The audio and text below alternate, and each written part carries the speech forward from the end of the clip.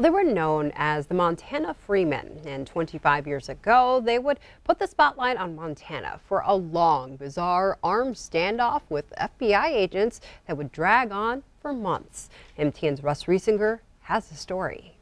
For almost two years, the Freemen had refused to be evicted from the secluded 960 acre ranch near Jordan looking back on it, you know, I don't, I wished I'd had a lot more sympathy for the people in the Jordan area and what they had endured even before the international media spotlight started to shine on Jordan. It was just strange stuff. That was the first time I'd, I, you know, brushed right up against that.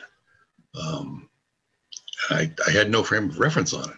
They called it Justice Township and had their own interpretation of the law, rejecting the authority of the federal government and using bogus checks and other fraudulent means to heavily arm themselves. The Bible is the, the only true law.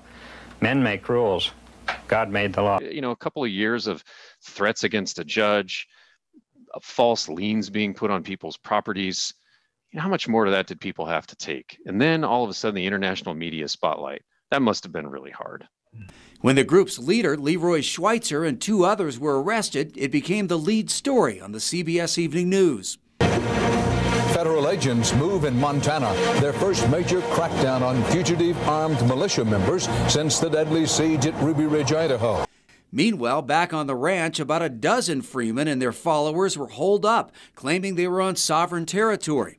There was there was this um, not a foreboding, but something more than an urgency because we didn't know what was going to happen next. The Freemen showed their displeasure with the outside world today by hoisting an American flag upside down outside their ranch house. We're the conservators of the peace.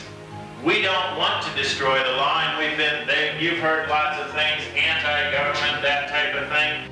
The FBI moved in black armored cars and a rescue helicopter to Garfield County today. A concern uh, for violence, a lot of concern of outsiders coming in. I think that in talking to FBI agents, that was was one of their biggest fears was was outside instigators making the situation worse.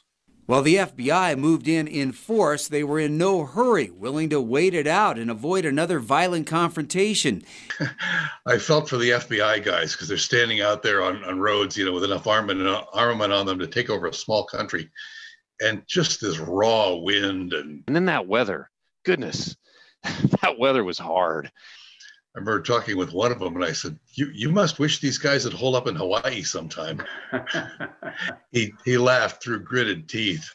Everybody was not happy for the cameras or the the uh, in the influx of, of law enforcement as well. The the uh, the FBI and ATF, you know, making a presence in in Montana in in the mid '90s wasn't well received by some. 81 days later, the standoff finally ended peacefully when the remaining Freemen surrendered.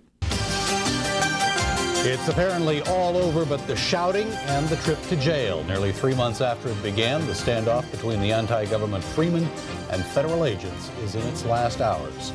That was fascinating stuff. I, I've never covered anything remotely like that story. There were some similarities to now, although not to the same degree, but there was there was a real anger.